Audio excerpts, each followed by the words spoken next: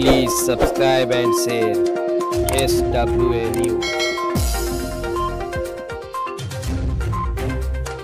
Maharaj Gopiya barrage का जलस्तर बढ़ा।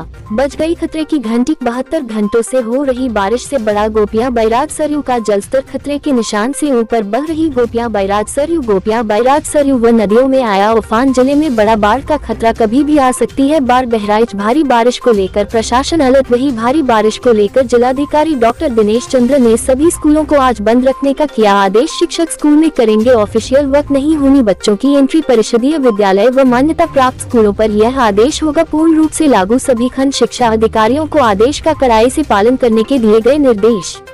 बहराइच से एस न्यूज़ के लिए शिबू अली की रिपोर्ट।